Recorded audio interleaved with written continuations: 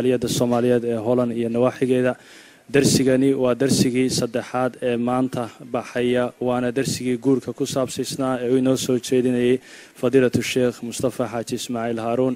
Falyatafadal mashkuuran maajuuran wafaqahu llah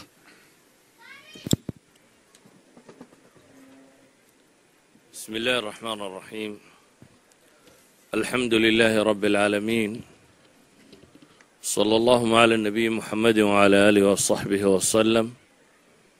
وبعد فسلام الله عليكم ورحمته وبركاته.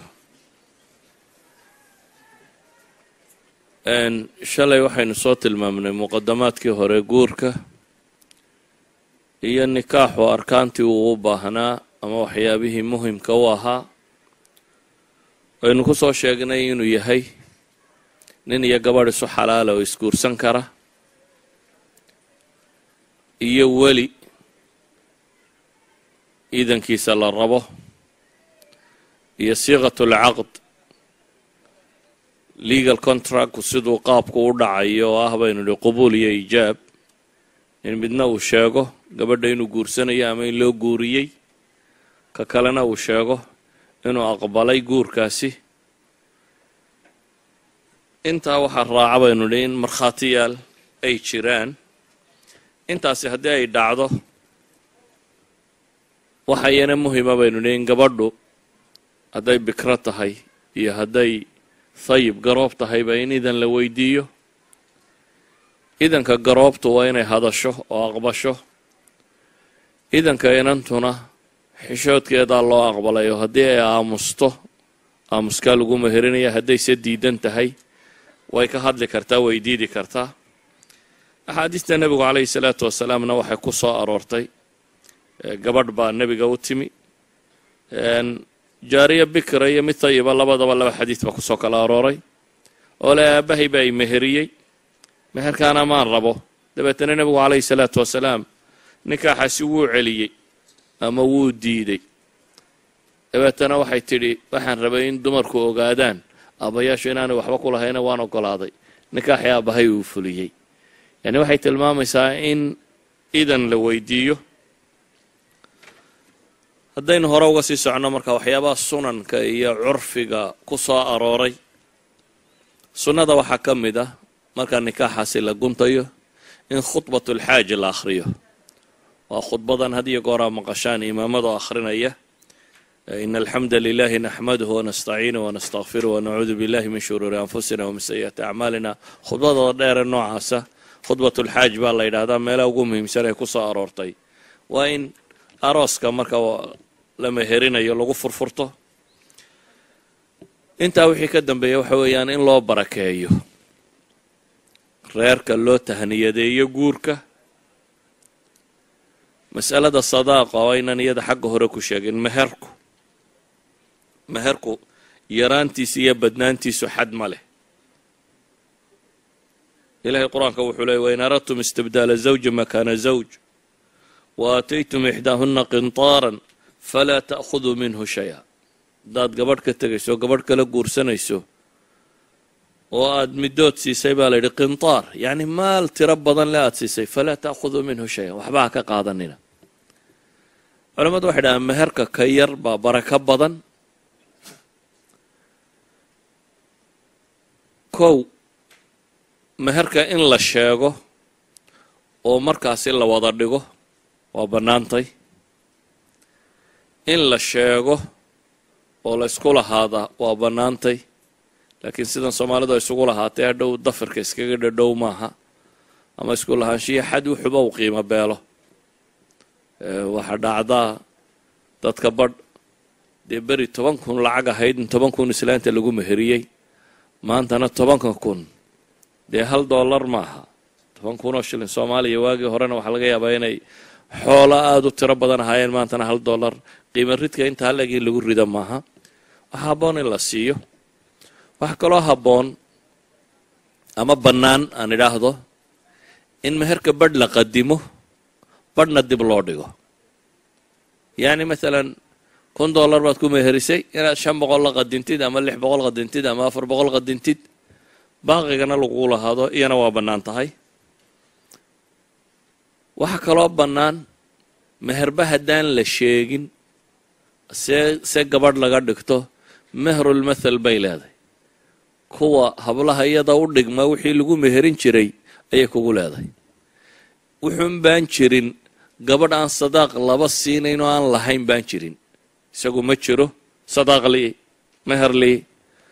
meherku mararka qaarkood xataa manfaco yar wuu noqon karaa. Oo nebigu calayhi salaatu wasalaam ninkii uu ku yidhi utlib walow khaatim. Kaatun xadiidana ha noqdee wax soo hele waxba soo waayey. Waxaa la yidhi wixii aad garanaysa qur'aan aan kugu marin inuu qur'aanka baro. Wakhtiyada dambe waxaa caado iska noqotay dadku inay yidhaahdaan kitaab qur'aana gabadha ha laygu meheriyo kitaab qur'aana haddii kamaal ahaan looga jeediyo qiimihiisa dee waa iska boqol karawna laso lagu soo furtaa soo maaha meelaha. Yacni wax weyn maaha. Ee waxa ka roon maal la garanaya inaad samaysataan. Maal macruuf oo la garanayo in gabadhu qabsato. Inta maal la helayana nebigu muu odhan ninkan qur'aan baan kuugu meheriyey marka hore war waxdoon baa la yidhi. Markuu waxba soo waaye uu yidhi waxba ma la soo waa. Ayaa la yidhi qur'aanka intaad garanayso ha lagugu dhigo. N waxa fiican markaasi gabadha in meher la siiyo meherkaasina inuu noqdo shay caadiya. Hadduu batana dhib maaha hadduu yaraadana dhib maaha laakiin dhaqamadana in lagu xidho meher aada u tiro badanoo inintu inay ceeboobayso haddaan kumaankum lagu meherin waa dhaqanka liitee canuusadan carbeed keenay. In khaliijka dumarka la guursan kari waayo oo inantuun guriga lagu hayo sababto waxyaabaheed baa xoolo badan ka doonaya ama waxaa la rabaa xoolo badan in lagu meheriyo waxaase sharciga islaamiga uu khilaafsan yahay. Sharciga islaamiga asalkii waxa weeyaan gabadhana in loo guuriyo ninkana loo guuriyo. Meherkana inaan dadka lagu dhibin qofku wixii uu awoodo in loo sameeyo. Intaa kadib waxa weeyaan in la iclaaniyo guurka oo farxaddiisa la muujiyo oo la tahniyadeeyo ayaa sunnada ah. In la iclaaniyo oo loo barakeeyo laakiin waxaa fiican guriga muslimka ah shareecada waxayna bartay in cibaado lagu bilaabo. Nebigu wuxuu yihi calayhi salaatu wasalaam habeenka gabadhaada marka lagu keeno gabadhaada waxaan u jeedaa taad qabto xaaska. Marka la keeno luqada soomaaliyeed iyo lahajaadkaa tiro badane.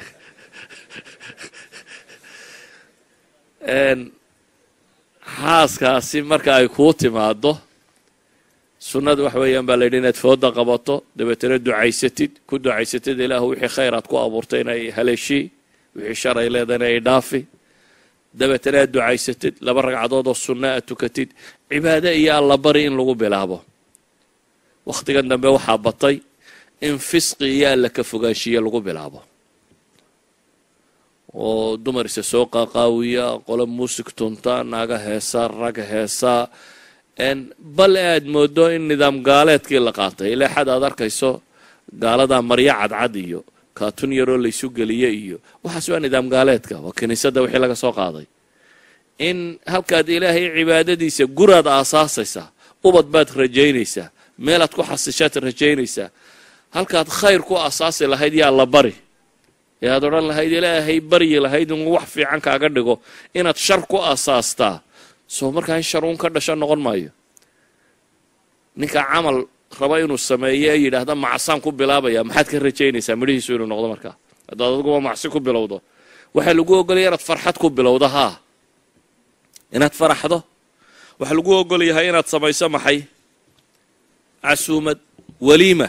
Nabigu calayhi salaatu wasalaam wuxuu arkay cabdiraxmaan ibnu cawf oo muhaajiriintii dee soo hijrooday oo haddana waxoogaa qurxoon ay ka muuqato. Waana cabdiraxmaan see waxu jiraan buu yidhi oo ilahay rasuulkiisiyo waan guursaday buu yidhi. Wuxuu yidhi maxaad ka bixisay? Nuwaa min dahab buu yidhi. Waxaan ka bixiyey laftimireed in leego dahaba. Waxoogaa garaamaa weeyaanoo dahaba ayaan mehero siiyey. Dabeetana nabigu wuxuu ku yidhi awlib walow bishaat. Weliimo dhigo. Neefna ha noqotee laakiin waxaa kaloo soo aroortay nabiga calayhi salaatu wasalaam haweenkii uu guursanayay qaar ka mid aanan xoolana qalin. Ee waxoogaa uun cunno kale iyo wixii la sameeyey. Idan weliimadu horta koow waa qofba wuxuu awoodo in weliimo la sameeya. Waa sunnadii nebiga calayhi salaatu wasalaam islaamkuna wayna faray. In la iclaamiyo la sheego in reerkaa la isku og yahay oo ninkaa iyo gabadhaasi ay isguursadeen oo aanay zine ahaynay dadku u ogaado oo la iclaamiyo weeyaan in la farxo weeyaanoo reer cusub oo la dhisay oo bulshada ku soo kordhay inuu yahay wax lagu farxo inuu yahay in la muujiyo. In la sameeyo cunno. Cunnadaasi haddii aad waxhaysato muusir tahay inaad neef laba saddex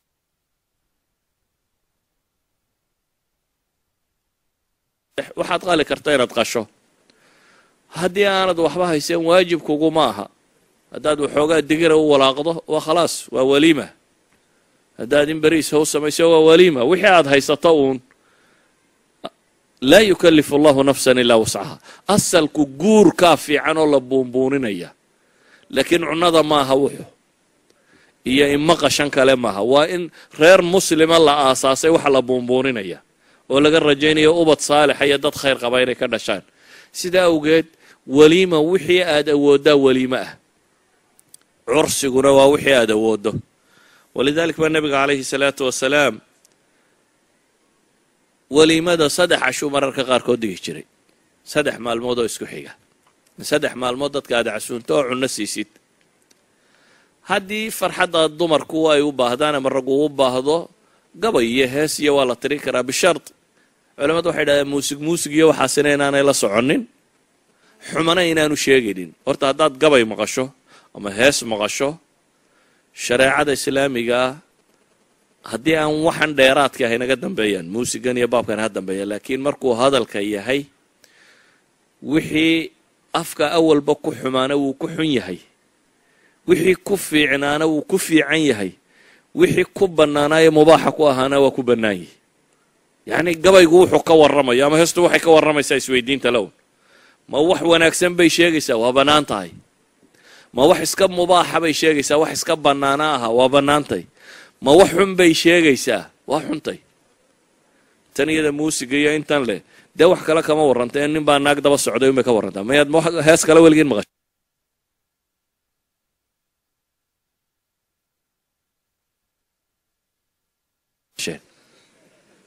nin baa naag jeclaaday nin baa naag jeclaaday. Intaas baa lagu celceliy si xikmad ku fadhida ama waa la farxi karaa waa la akhriyi karaa waa la wadi karaa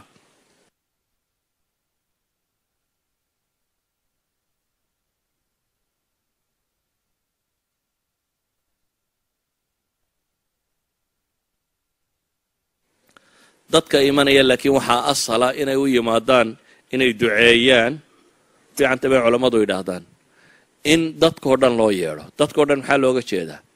Yacni kuwa haysta iyo ku faqiira iyo kuwan. Inta badan dadku waliimooyinka waxay sameeyaan inta magacala unbay u yeedhaan maya. Sharul wariima waxay yidhahdaan waa ta foqoradana loo diido. Kuwa waxhaystana la siiyo. Ninka waxhaystaa yeedhistaad u yeedhay waa maamuus. Cunno kaagama baahnayn. Waa uun inaad maamuusayso ayuu arkayaa laakiin kan faqiirkii maamuusna wuu arkaa waxtarna wuu arkaa. Inaad maanta qadaysisa waxtarna waytay weliimada waxay ku khayr badan tahay markaasi inay noqoto weliimo dadku ay wada wadaagaan oo ku faqiira iyo kuwa haystaba in loogu yeedho. Iclaankaasaa sunnadiiya oo haddii la iclaamin waayo maxaa dhacaya? Ma ansaxaysaa odagii inanta dhalay iyo ninkii gabadha guursanayey iyo markhaatiyadii iyo intaasaa loo yeedhay. Waa guursadeen waa loo guuriyey. Wixii ay cuncuni karayeen bay meeshaas kaga cuneen. Dabeetana gabadhiisii uu iskala tegey. Guurkaasi ma ansaxaya aroos iyo qayle iyo buuq iyo waxba toona lama samaynin. Haa dabcan wuu ansaxaya hadduu arkaantii helo iyo shuruuddii ay u baahnayd wuu ansaxaya waana guur xalaala isaguna. Laakiin sunnadu waxa weeyaan in la iclaamiyaa waa sunnada nebiga calayhi isalaatu wasalaam. Waxa kaloo aynu isweydiin karnaa waxa weeyaan imisuu ninku guursanayaa se kuwa ka xaaraama aanu guursan karin. Ile waxaynu idhi axkaamu ziwaaj baynu xoogaa ka sheegaynay kow afar wax ka badan ma guursan karo. Fankixuu maa taaba lakum min annisaa'i mathna wa hulaatha wa rubac afar ka badan ma guursan karo. Nebigu calayhi salaatu wasalaam nimankii carabtii hore dad tiro badan bay iska guursan jireen. Kuwii guursaday wuxuu ku yidhi inta kale iska sii daa. Afar kala hadh buu nebigu ku yidhi calayhi salaatu wasalaam. Maxaa dumarka mamnuuc ah inaad guursato? Waa laba qaybood qayb weligood mamnuuc kaa ah oo aan marnaba kuu bannaanayn guurkoodu.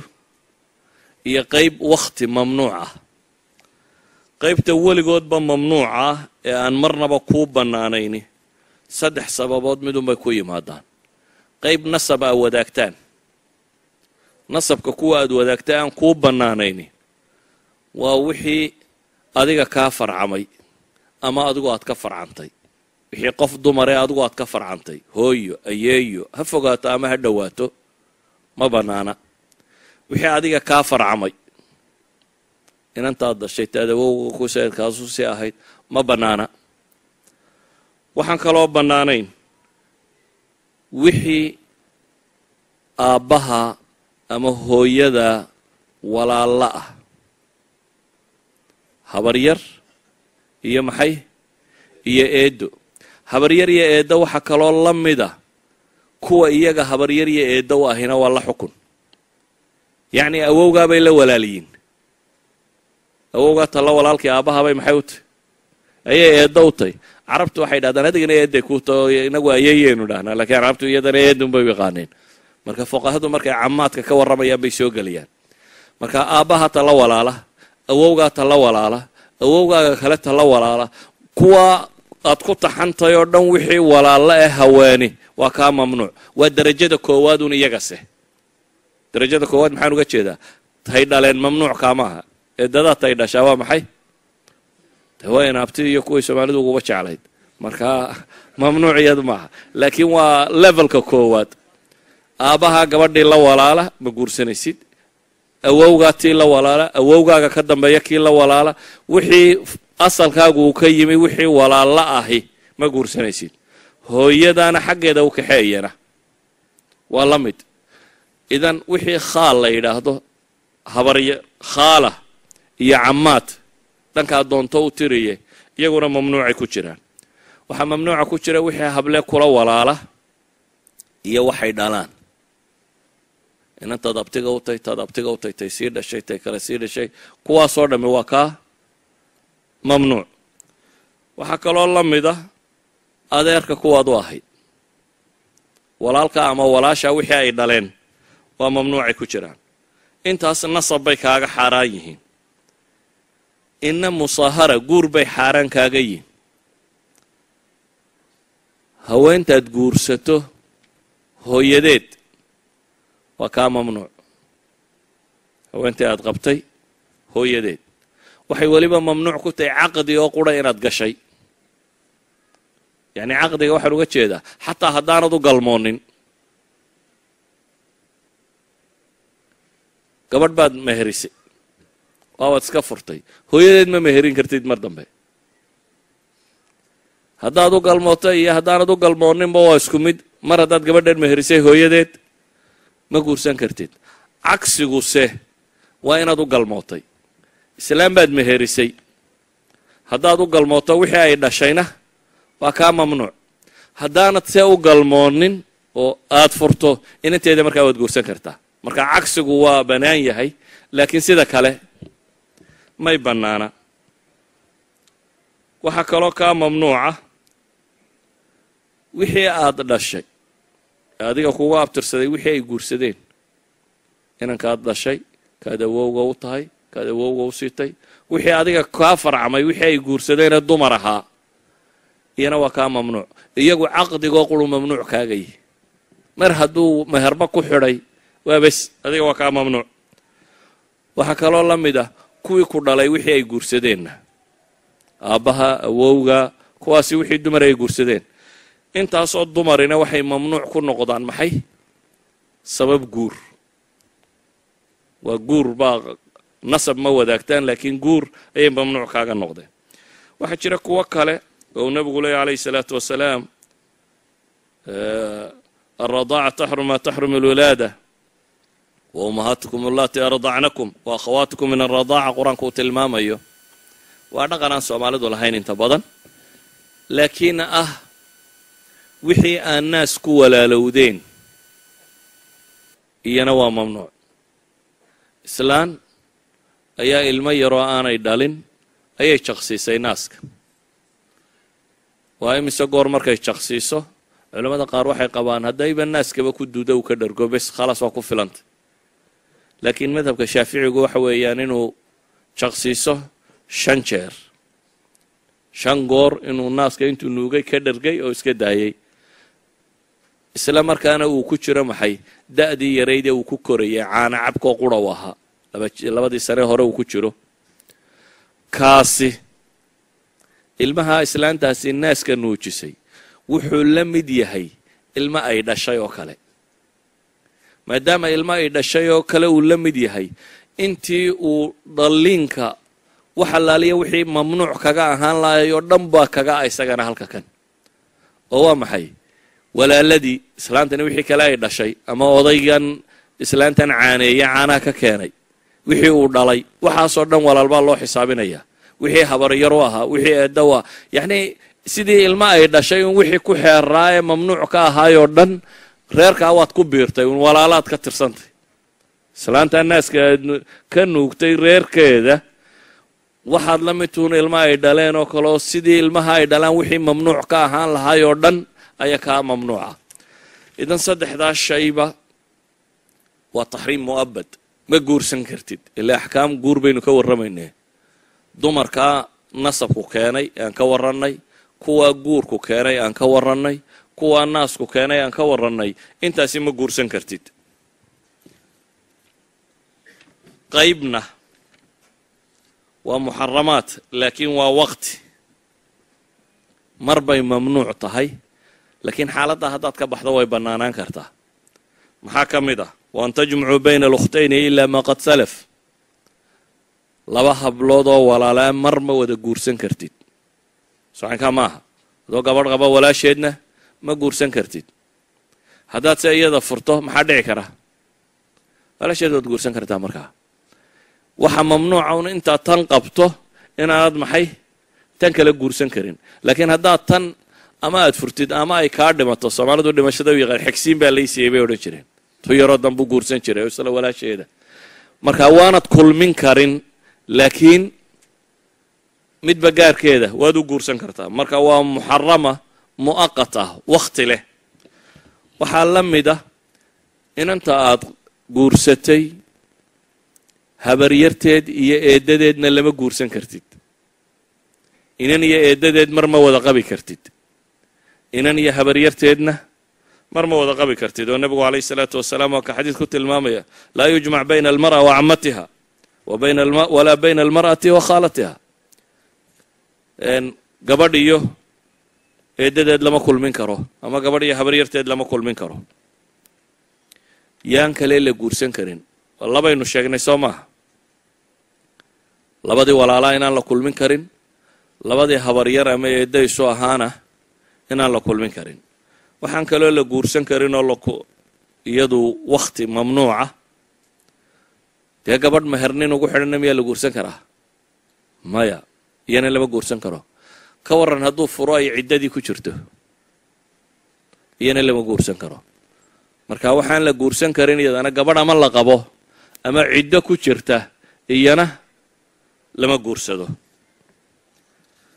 Intaasi waa muطalaqaadkii waa yani waa kuwii wakhtiga xaaraanta ahaa. Waxa iyana la mid ah gabadhaad saddex furtay ka waran gabadhii saddex dalaaqood dhammaysay ee aad kala tagteen. Iyana wakhtay mamnuuc kaa tay soo maaha? Waa wakhtigee? Inta aanay guur dambe soo marin. Guurka soomaalidu ay sheegtee muxalalka la dha isaga waxba kama jiraan. Waxba kama jiraan. Waa gabadhaasi inay sideeda u guursato oo ay dabeetana sideeda ninka u kala tagaan oo iyadoo magaaladeeda joogto madax bannaan ay hesheen markaa waad guursan kartaa laakiin kan ah waan u yaro guursanayaayo dabeetana waa haddana u yaro furayaa isagu ma jiro looma guursanayo waayo waxaynu tilmaami doonnaa xagga dambe kaga warrami doonnaa guurar aan bannaanaynba ayaynu ka warrami doonaa waxaa kaloo isna bannaanayn bay culammadu yidhaahdaan zaaniyaddana lama guursado ama zaaniga fiirso. Ninka suuqa iskaga jira waxba ha u guurinin. Inanta suuqa ku jirtana lama guursado. Laakiin hadday toobad keenaan haa markaa hadday toobad keenaan oo inankuna xumaha iska daayo ama inantu ay xumaha iska dayso oo ay dad wanaagsan noqdaan toobaddu dee dembiga hore ilahay wuu ku dhaafaa.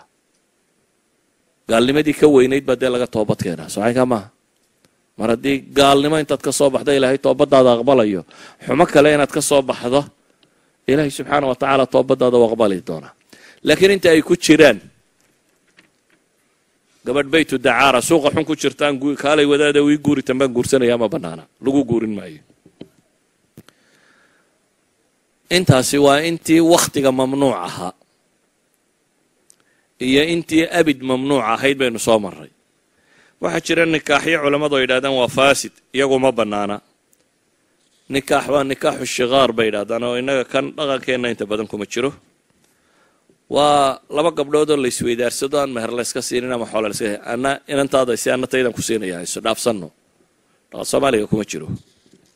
Ama walaashay baan ku siinaya walaasha aysi kuma jiro dhaqa soomaaliga. Nikaaxulmuxallel waa kii aynu soo sheegnay nebigu calayhi salaatu wasalaam wuxuu leeyahy ilaahay lacnadiisu naxariista alle ha ka fogaado qofka wax xalaalaynaya iyo ka loo xalaalaynaya. Walidaalika culammadu waxay idhahdaan ma bannaana in gabadh inta saddex lagu furoo la kala tegay inuunan yidhaahdo waan guursanayaa una waxaan u guursanayaa inuu maxay? Ninkii kale aan u furo. Waayo waxaanad ku guursanaysaa waa maxay? Waa biniyati maxay inaad furi doonto ma bannaan yahay aziwaaj biniyati talaaq aslan inaad guursato inaad furi doonto. Culamo badani waxay qabaan inaanu bannaanayn. Waxaa kaloo mamnuuca nikaaxulmutca gabadha muddaan qabayaa dabeetana waa iska furaya. Shiicada isticmaasha. Islaamka bilowgiisii horuu bannaanaa kadibna waa la mamnuucay waa gabadh inaad guursato? Oo marka horeba guurkiinu uu ku ahaado na sanad baynu isqabaynaa dabeetana caqdiga waxaa laydinkugu meherinayaa gabadhaa inaad sanad isqabaysaan sanad kadib waa furantay waa kala tegaysaan. Haddaad doontana dee sooba yareeyana laba saacadood baynu isqabaynaa soo maaha. Maxay kaga gedisnaanaysaa markaa tan suuqa laga kiraysto haddaad tiraada wadaad gabadhan ii guuri laba saacadood. Ayaanu isqabaynaa laba saacadood meheraa ku dhagsii shiicadaa ku dhagsiisa. Dad badan oo afrikaan oo la shiiceeyey dumarka cadcad baa lagu shiiceeya labalabada saacadood loo meheriyey. Asliyan nikaaxilmutca ma bannaana. Intaa kadib intaasi waa nikaaxyada aan bannaanayn iyo nikaaxii bannaanaa iyo nikaaxa bannaanay wixii uu ku bannaanaa baynu soo tilmaamnay. Waxaa inoo hadha inaynu sheegnaa markaa waxa weeyaan xuquuqda la ysku leeyahay labadan qof ee isguursaday. Labadan qof ee isguursaday. Waa guri cusub iyo laba qof oo isku cusub. Qofku markuu gurigooda joogo gurigooda qaab baa looga dhaqmaa waxbaa laga cunaa qaab baa wax loo cunaa qaab baa wax loo karsadaa reerku qaab buu isugu xidhan yahay environment bii-ad baad ku soo kortay. Inanta tanina bii-ad taada ka gadisan bay ku soo kortay. Marka la ysu yimaado waxaa isu yimaadaa laba qof oo laba guro kala nooca ka kala yimi laba dhaqan kala wata hadday doonaan laba fikradood kala wata. Waxay yidhaahdaan inta badan qoladan ixsaa'iyaadku guurarka dumaa inta ugu badan ee lixda bilooda horey dumaan bay yidhahdaan lixdaa bilooda hore sababtay u dumaanna waxa weeyaan bay yidhiin waa cultural coalitionka dhacaya waa dhaqamada iskhila badan shahrul casalkunbaa madaxooda ku jira iyo baahiyihii ay qabeen siday u gudan lahaayeen ayaa madaxooda ka guuxaysa markii la wada hadlayay laysu sheekaynayana qof waliba labeentuu sheegay. Soocaynkaa maaha. Nina inanta markaad la hadlaysa ma tira anaa nin yaro gacan adag baan anugu ahay. Ama markaa isguursataan bay ogaanaysaa in gacantu go'ay tahay. Laakiin sheegi maysid marka hore. Idan nin waliba markuu guursanayo soomaalidu maxay idhaahdaan beenna waa lagu xerogeeyaa runna waa lagu dhaqaabay odhan jira odayda soomaaliya calaa kulli xaal qof waliba in qurux badan buu iska sheegay. Markii uu ama hasaawaya ama reerka wax weydiisanayay inantana inteedii quruxda badnayd baa la sheegay. Laakiin ficlan markay isu timaadaan maxaa dhacaya? Run baa la tegayaa un intaadii fiicnaydna way muuqan intaadii qalloocnaydna way muuqan. Inantana waa kadalik. Inteedii fiicnaydna way muuqan inteedii qalloocnaydna way muuqan. Idan waxaa loo baahan yahay guriga see loo idaareeyaa ama loo fahmaa? Ugu horeyn ilaahi subxaana wa tacaala qur'aanka wuxuu ku tilmaamayaa xuquuqdaasi zawjigee laysku leeyahay inay wax badan tahay kow marka hore ilaahay wuxuu yidhi dhexdiinna waxaa la dhigay maxay? Mawadda wa raxma kalgacal iyo naxariis. Xuquuqdana waxaa la yidhi ninku alrijaalu qawaamuuna cala annisaa bima fadala allahu bacdahum calaa bacd wa bima anfaquu. Raggu qiwaamat lbeyt guriga maamulkiisa isagaa loo dhiibay. Waa masalo si fudud in loo fahmo u baahan. Bini aadam meel isugu yimaada oo aan kala sarraynay hadday dhacdo noloshaasi ma suurta gasho. Bini aadam hadduu meel isugu yimaado waa inuu madax iyo majo yeeshaa. Waa kala sarraynay jirtaa. Xataa dad hadduu wax isku darsado oo shirka samaynaysaan shirkadda waa in cidi madax ka tay westranka idaaraadkooda waxa ka qaldan waxaa ka mid a idaaro kasta oo la sameeyo westran ku taalla cid baa madax looga dhigaa guriga mooyaane. Sacanka maaha? Guriga waxa la yidhi labadiinuba waa simantiin. Oo yaa maamula meesha. Laba maamulaa wada jooga. Ma macquul laba maamula inay meesha wada joogaan. Maadaama nolosha kaloo dhanba aanay suurtagal ahayn in hay'adi ay dhisnataan madax lahayni hay'ad aan madax lahayni ma jirto. Ilaahay subxaana wa tacaala qur'aanka markaa wuxuu ku leeyay jinsiga ragga la yidhahdaa maamulka la siiyey guriga marka la isugu yimaado. Waayo labadan qof mid baa ilaahay shaqu ugu talagalay. Maamulka guriga waxaa la yidhi ninka ayaa gacanta ku haynaya. Qiwaamadu markaa waa maamulkiiyo gacanta lagu geliyey. Maamulka gacanta lagu geliyey si xunna qofku wuu adeegsan karaa. Si fiicanna wuu adeegsan karaa. Socanka maaha? Islaamku kuma odhan maamulka gacanta lagu geliyo dictatorship noqo madax adko oo wax walba taasi ma jirto maamulka gacanta lagu geliyay lakiin waxaa lagu faray inaad u dhaqanto siday shareecada ku fartay. Sideedaba cid waxa maamulo looga dhigaa. Cidda uu maamulayo inuu shaqadana si fiican ay u qaybsadaan shirkadaasi markaasina in la koriyo ay kobu kacdo. Maamuluhu hadduu la loolamo cidduu maamulayo ka war. Iska celi hadduu is idhaahdo dad shirkad managerku inuu is idhaahdo shaqaalaha iska celi ee ku soo gaadhayn shirkad soconaysa noqon mayso shaqaalahaga waad horu waad tatwiirinaysaa si shirkadu ay u xoogaysato ay u socoto. Waxay ahayd ninku maamulo waxaa looga dhigay inuu qiwaama yeesho. Hogaamin waa leadership. Inuu leadershipnimo yeesho. Ma aha inuu dictatorshipnimo yeesho. Sidaa daraaddeed baa ilaahay subxaana wa tacaala qur'aanka wuxuu ku tilmaamaya walahunna mithlu ladii calayhinna walilrijaali calayhinna daraja. Walahunna mithlu ladii calayhinna haweenku waxay leeyihiin baa layidhi waxa lagu leeyoo kale. Xuquuqda ay adigu sugaysid xaq la midaba iyaduna leedayba ayuu ilaahay leeyay subxaana wa tacaala. Laakiin walilrijaali calayhina daraja waa darajat alqiwaama. Ragga se waxaa la siiyey darajo dheeraad oo ah maxay? Ta qiwaamada ah ta maamulka ah. Ilahay qur'aanka wuxuu ku tilmaamayaa wacashiruhuna bilmacruuf sama in lagu wada dhaqmo.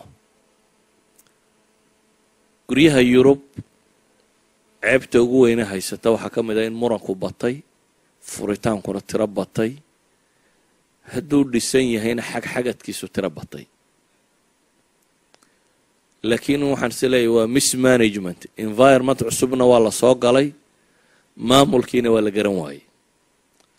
Kow ragga ilaahay wuxuu faray subxaana wa tacaala wacaashiruuhunna bilmacruuf sama kula dhaqma baa layidhi bilmacruuf baa la tilmaamay macruufku waa shay mutlaq ah oo ku saabsisan curfiga curfiga dadka shareecada bulshada dhaqanka curfi ku wada baa la yidhi curfigu wuxuu u baahan yahay markaasi nebigu calayhi salaatu wasalaam wuxuu tilmaamay akmalu lmu'miniina iimaanan axsanuhum khuluqa wa khiyaarukum khiyaarukum linisaa'ihim nebigu wuxuu leeya calayhi salaatu wasalaam mu'miniinta waxa u iimaankiisu ugu dhammaystiran yahay kuwa ugu dhaqanka fiican. Islaamnimadii caqiidadu waa inay dhaqan isu beddelaan.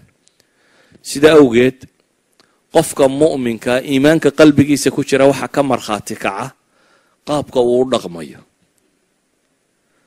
Dabeetana nebigu wuxuu yihi calayhi salaatu wasalaam wakhiyaarukum khiyaarukum linisaa'ihim raggiina akhyaartae ugu fiicanina rag waxa ugu fiican kuwa dumarka u fiican buu nebigu yihi calayhi salaatu wasalaam. Rag waxa u fiican kuwa maxay? Dumarka u fiican.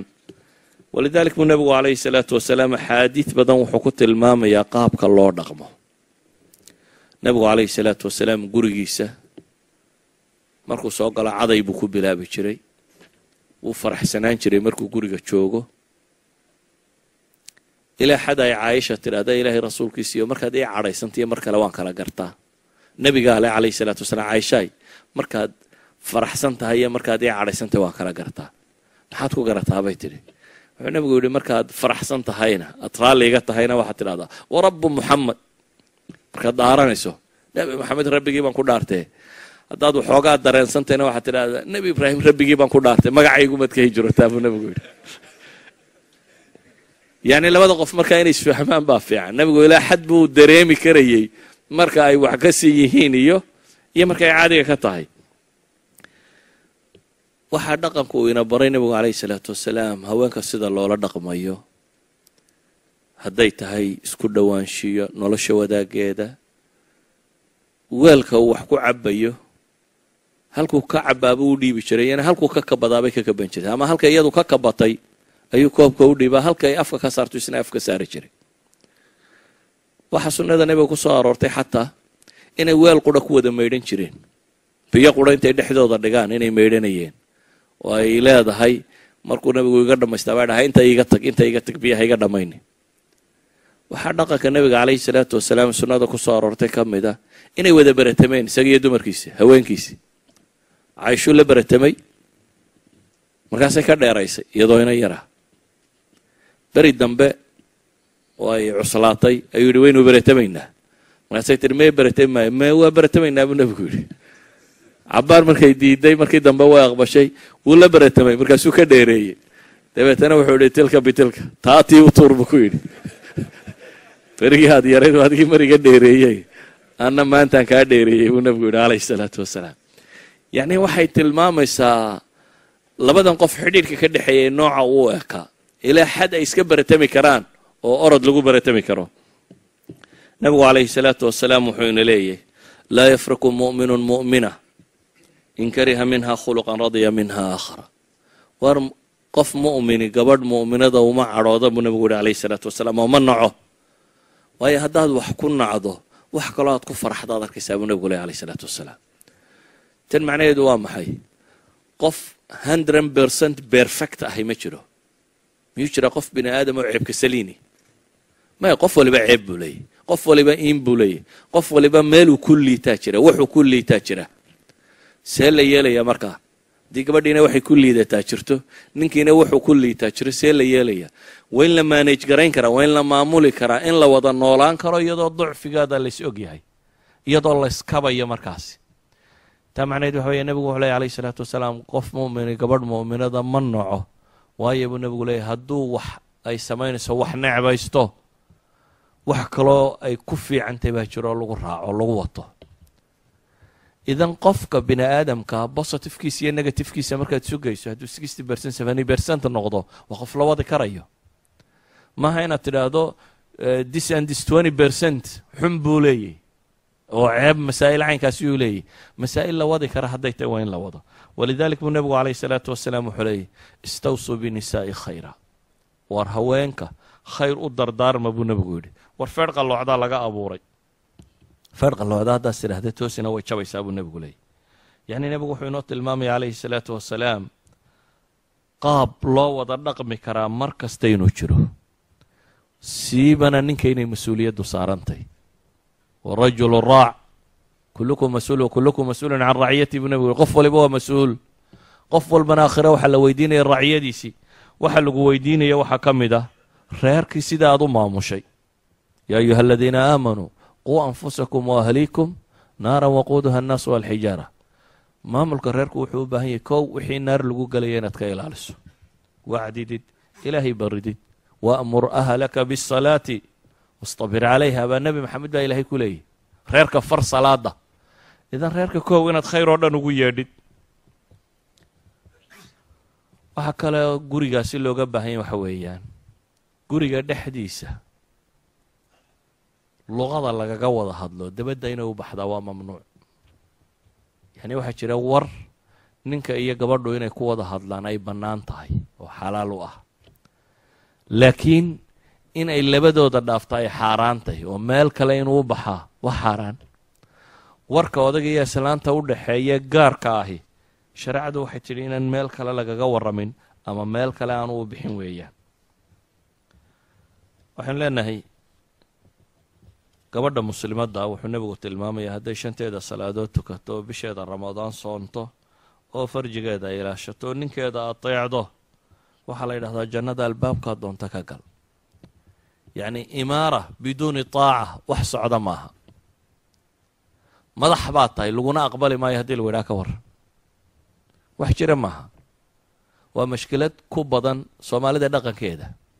Gurigoo qura maaha soomaalida dhaqankeeda waxaad moodaa masaajidkan haddii la yidhaahdo afar soomaaliya loo dhibo madax baa tahay looma ogola inuu maamulay haddana dadkunba odhanay ma waxaan sidan la yidhaha macaynka lama aqbalayo asalku waxa weeyaan haddii madax la sameeyo dee madaxda waa in la aqbalaa gurigu madax buu leeyahy madaxdiisa haddaan la aqbalaynin dee waxba socon maayaan dumarku masalada waa inay fahmaan gurigu madax buu leeyahy yes madaxda waa lala talinayaa madaxda waxbaa loo sheegayaa madaxda waa waxa fiican baa la tusayaa wa laakiin akhiiran warku wuxuu noqdo haddaanay macsi ahayn waa in la aqbalaa. Haweentu gurigooda markay joogtay labadeeda waalid baa ugu mudan cid ay ateecdo labada waalid iyaga xorriyaddooda ka tanaasulay daacadoodii oo nin kugu daray. Markaad nin yeelato waxa warkiisa la hor aqbalayaa ninkaa ka horreeya labadaada waalid. Qofka dumarka ah. Ninka qaba ayaa ka horreeya maxay? Waalidka. Haddii warku noqonayo inay iskhilaafaan. Walidaalika daacadeedii waxay taagantahy nebiga calayhi salaatu wasalaam baa saxaabi baa shaam iyo meelahan bay yimaadeen. Mucaad ibnu jabal iyo shaam bay waxay arkeen wadaadada kiniisadda oo loo sujuudayo. Dabeetana markii uu soo noqday ayuu yidhi waar nebiga mudan in iyoba wadaadkoodii u sujuuday ma nebi maxamed nebiga wayno sujuud baabu iskala dhaca nebigu wuxuu yidhi alayh salatu slam war waxaanaad waddaa waa maxay suu yidhi ilahi rasuulkiisiyo shaam baan ka imiyo waxaan arkay iyadoo kiniisadii iyo kuwii loo sujuudayo nebigu wuxuu yidhi alayhi salaatu wasalaam sujuudda ilaahay mooyaane cid kale in loo sujuudaa ma bannaana qof kale loomana foorarsado lowyadana dhulka looma dhigo laysumana gaabiyo loomana sujuudo sharcigu wuxuu baneeyo ixtiraamkuu ku jira inaad salaamu calaykum tidhaahdo. Taasaa ah ixtiraam kama dambaysta. Ah nebi maxamed caleyhi salaatu wasalaam saxaabadu salaamu calaykum bay odhan jireen. Isagoo ilaahay rasuulkiisiiya dadna u fadli badan. Isagoo dad u fadli badan wixii lagu karaamayn jiray waa inaad adna ku karaamaysaa dadka aad karaamaynayso. Laakiin hadday sujuud iyo rukuuc noqoto ilaahay unbaa iskale subxaana wa tacaala. Rabbuunbaa loo rukuuca oo loo sujuuda dabeetana nebigu wuxuu yihi calayhi salaatu wasalaam haddiiba aan cid uun fari lahaa inay cidi cid u sujuuddo gabadhaan odhan lahaa buu yihi ninkaaga u sujuud. Sujuuddu soo maha daacada halkii ugu dambaysay. Haddiiba uun laba qof la odhan lahaa ha laysu sujuudo gabadhaan ku odhan lahaa buu nebigu yihi calayhi salaatu wasalaam ninkaaga u sujuud. Taa macnaheedu waxa weeyaan gabadhu daaca mutlaqa inay la timaado waxaa jirta gabadh maraykana waa tan la yidhi dunidu waa simanta rag iyo dumarku waa simayin muddaa laga shaqeeya feminist groupkan iyo warka kan uu tiro batay.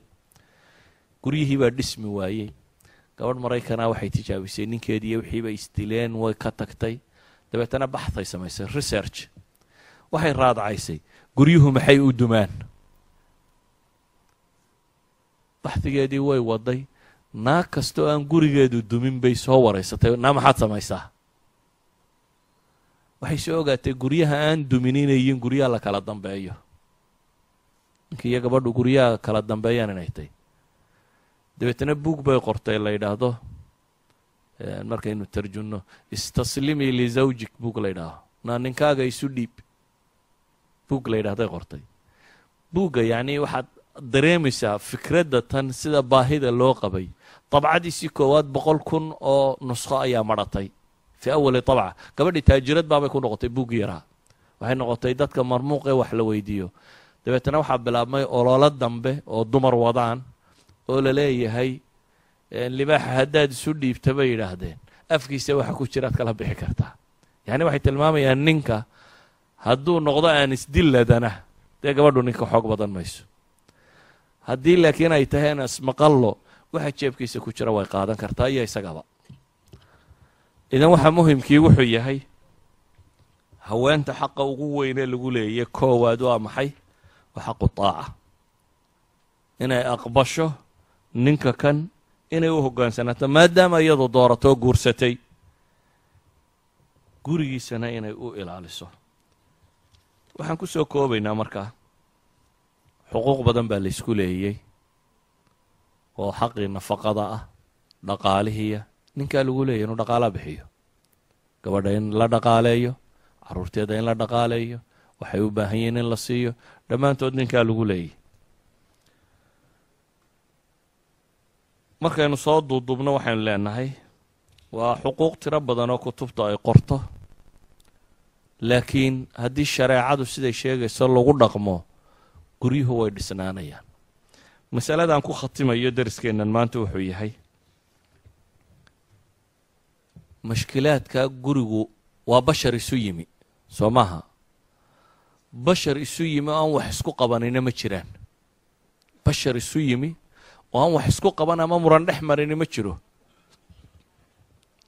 Xataa ilaahay subxaana wa tacaala qur'aanka wuxuu inoogaga warramayaa. Gurigii nebiga calayhi salaatu wasalaam oo muran ka dhacay. Oo intay haweenkii wax is uu nebigu gurigaba ka baxay. Meel dabada iska tegey oo saxaabadii yaabtay oo la war kutiri kutaani soo baxay nebigiiba dumarkii furay oo mushkiladii tiro badatay oo waxaan uga jeedanaa mashkiladii way dhacdaa. Laakiin inta badan bini aadamku waxa uu ku kala gedisan yahy waxa weeyaan sidee loo xallilaa? Mashkiladda how to solve the problem. Saad mashkiladda u xallilaysaa siiba guryahan dabadda yimi iyo reerahan dabadda jooga. Waa yeelkii hore waa laga soo fogaaday. Markii waddanka la joogay waxaa laga yaabaa gabadha qaraabadeed baa joogay eedooyinkeed habaryaraheed aabaheed awowyadeed tolkeed. Ninka sidoo kale labadooda ka guracan cid la hadashaa la helayay cid qabataa la helayay xataa wuxuu ka xishoonayay wuu ceeboobayay oo de reerka dhexdiisiiya wixii marka la ydhaho warkan jacjacoorka ee gabadhan sida u gelaya la ydhaho wuu ka xishoonayay. Wax badan oo culturally qofka ku xeeran baa jiray oo inuu toosnaado iyo gabadhuba inay toosnaato keensanayay. Laakiin markii dabadda loo soo baxay kow culturkaasoo dhammi wuu lumay. Cidiba kuguma xeerree keligaa baad joogtaa beriskana mid waliba gaarkiisa uu helaya gabadhuna beriskeeda gaar bay u heli kartaa ninkuna beriskiisa gaar buu heli karaa dabeetana waxay noqotay ayi mashkila yar oo dhacda. Inay noqoto maryaa inoo kala gurun waxba kale awalba isugu keen jiray. Shandadaada qaado. Ayi mashkila yar oo dhacda inay noqoto uun in reerku maryaha kala soocdo oo u kala tago. Waxaa lumay markaa qiimihii gurigu lahaa iyo reerka iyo carruurta iyo ubadka iyo mustaqbalka ayaan qiimo la siinin waxaa qiimo la siiyey laba kelmadood oo laysku qabtay. Laba weedhood ama wax yar oo laysku qabto oo muran ka taagan yahay ayaa wixii wanaag ahaayee kaloo dhan ee la samaynayay lagu ilaabay. Haboon inuu muranku yeesho xad iyo qaab khilaafka loo daweeyo. Haddiiba uu guriga ka yimaado inuu yeesho qaab khilaafka loo daweeyo. Marka waxaan ku soo koobayaa uun haddii khilaafkaasi usluubkiisa la raaco waa wax fudud oo daweysmi kara haddaan se la raacin waa burburka guryaha ee tirada badan le meesha u ka yimaado. Maanta halkaasaan ku joojinaya. Wallahu aclam billahi towfiiq wasalaamu calaykum